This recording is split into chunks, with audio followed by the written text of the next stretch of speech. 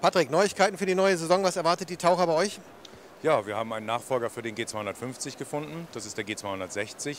Die 25-jährige Tradition wird weitergeführt mit neuen Materialien, neuen stromlinionsförmigen äh, Design und eben halt auch mit dem Metallinnenleben, sodass er vereisungsunempfindlich ist.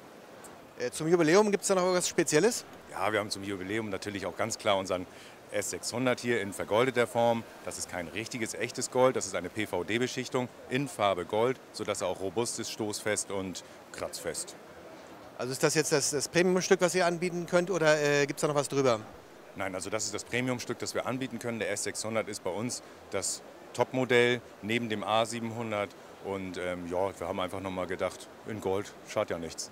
Und limitierte Auflage oder wenn die Nachfrage groß ist, wird nachproduziert? Nein, nein, also das ist eine limitierte Auflage, davon wird es nicht allzu viele geben. Ähm, da sollte man schon zugreifen, wenn man die Möglichkeit hat.